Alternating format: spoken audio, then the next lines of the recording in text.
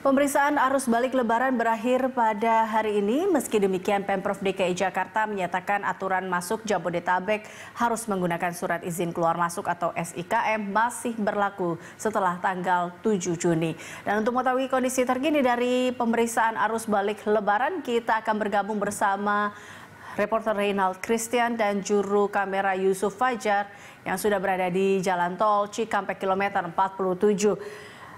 Renald, bagaimana situasi terkini di sana, Renald?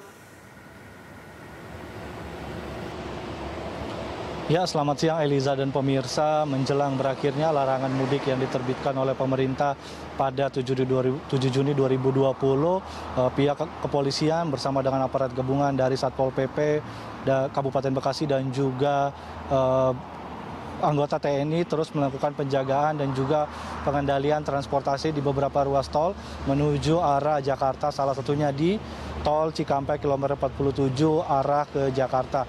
Adapun pemeriksaan ini tetap dilakukan dikarenakan uh, untuk memasuki wilayah DKI Jakarta uh, bagi warga masih harus memiliki SIKM ataupun surat izin keluar masuk.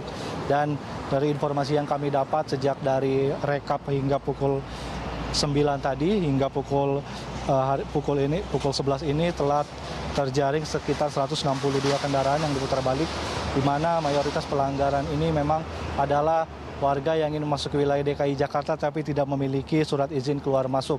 Adapun penjagaan ini tetap uh, semakin ketat mengingat walaupun larangan mudik akan berakhir pada 7 Juni 2020. Selain itu dengan ber, dengan menjelang berakhirnya larangan mudik, pihak dari Jasa Marga juga telah melakukan pengendalian-pengendalian jalan salah satunya dengan membuka jalan uh, layang uh, menuju Cikampek Jakarta di mana pada minggu dini hari tadi telah dibuka jalur layang menuju Cikampek sementara untuk jalur menuju Jakarta akan dibuka pada uh, esok hari.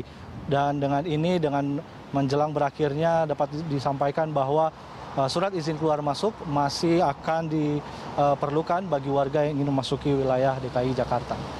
Eliza.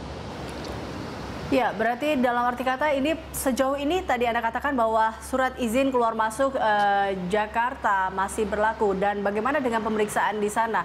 Apakah masih kedapatan kendaraan yang belum memiliki SIKM atau seperti apa pemeriksaan di sana?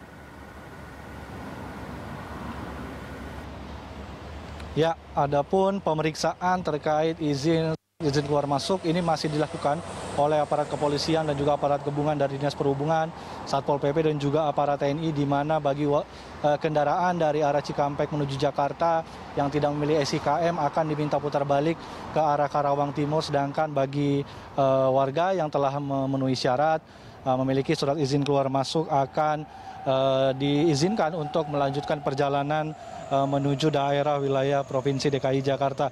Adapun surat izin keluar masuk ini menjadi uh, syarat penting bagi warga uh, selama status wabah darurat bencana non alam masih berlaku di mana dalam Kepres nomor 12 tahun 2020 dan juga Pergub 47 2020 mengatakan bahwa SIKM masih akan diperlukan dan surat ini masih akan terus dipakai sampai keputusan tentang status darurat bencana non alam akan dicabut.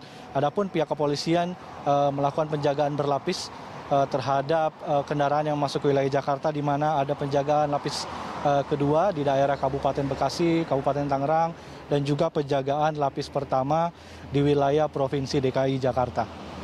Eliza.